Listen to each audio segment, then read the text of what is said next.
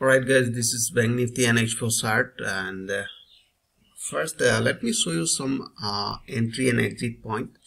And before that we must find out the market range. Now you can see previous market they are running like that. And uh, right now somewhere here so let me show you the actual range. And I connect the most recent higher point somewhere here. And I can see I just connected these two high point have you seen this one and this one. So now I can see uh, this is the lower boundary automatically. They are forming as a support. So we are expecting that price will run like that. Okay. So in that case I'm looking for buy above this supporting line. So you can say 23,000 uh, let's say 800 uh, this is my buy entry point.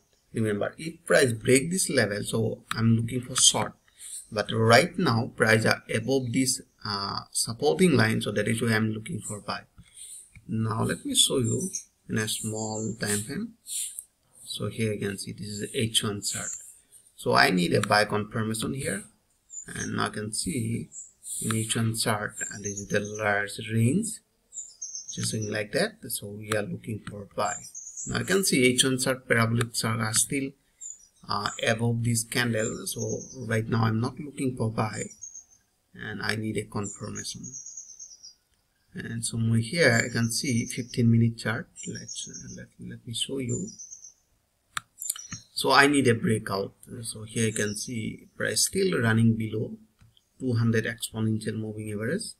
Have you seen it and this is the 200 exponential moving average and I need a breakout. So once they break definitely I'll go for buy and next target will be 24,700 24,700 and my entry point will be 24,300 so I'll place my buy order for 300 points. Alright so here you can see 300 point difference. That is my buy opportunity or if price break this supporting line so definitely I'll go for short so I hope you enjoyed this video. If you like this video please like and subscribe and thanks for watching